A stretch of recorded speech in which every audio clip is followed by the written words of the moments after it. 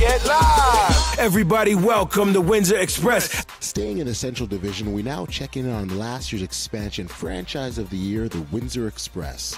After a slow start, the Express finished their inaugural season by winning 12 of their final 15 regular season games, which was good enough to earn them their first ever playoff berth. They faced off against the Storm, and after a thrilling series, the Express lost a decisive Game 5 on the road. Last year's success left the Express hungry, and they've come into this season more determined than ever. They felt continuity was important and were able to bring back some key pieces from last year's roster. This includes a healthy all-star point guard Darren Duncan, who's nicely recovered from his knee injury and ready for another great year. All-star Chris Commons is also ready to don an Express jersey once again. And Canadian player Kevin Loiselle looks to follow up a very successful campaign last season.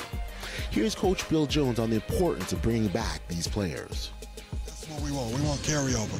The momentum that we had at the end of the season, unfortunately, we lost our last game. But you know what? The guys are eager to hurry up and get back. I heard a lot of them say they couldn't sleep because anticipation for training camp and the season. So that's what we're glad to have, and that's what we're looking forward to have. The Express also bolstered their squad by trading for a couple of players who've proven themselves in the league. The slick shooting Papo Pong immediately makes him dangerous from outside and strengthens him on the wing, and the play of Quinnell Brown provided some added toughness and inside scoring.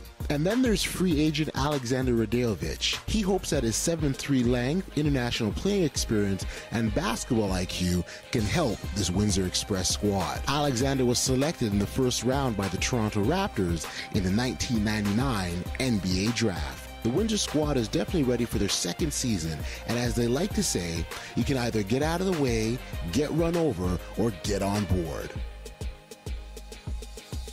Get, get, get locked. That's how we NBL Canada, get locked.